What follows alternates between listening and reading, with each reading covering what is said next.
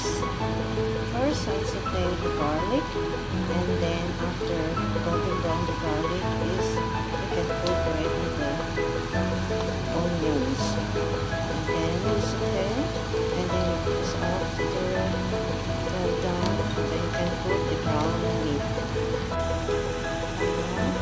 I put the one kilo of uh, beef ground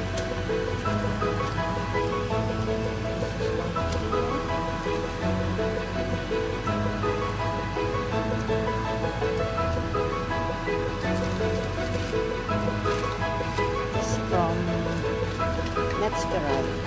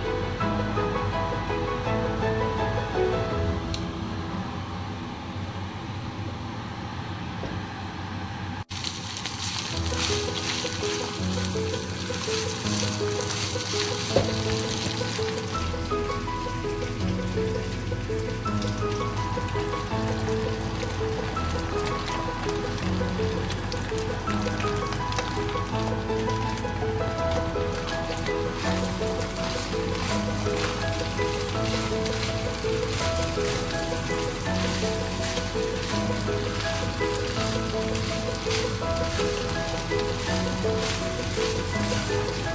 you.